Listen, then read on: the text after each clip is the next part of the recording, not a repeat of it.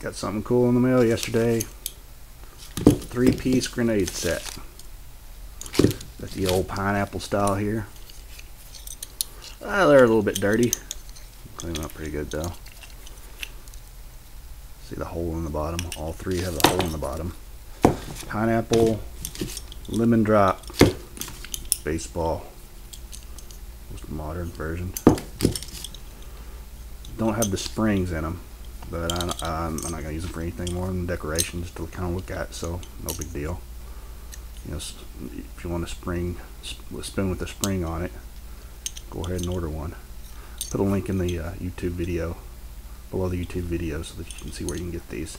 These are pretty cool just to hold on to, show your neighbors and friends. That you uh, started in the hobby of inert ordnance.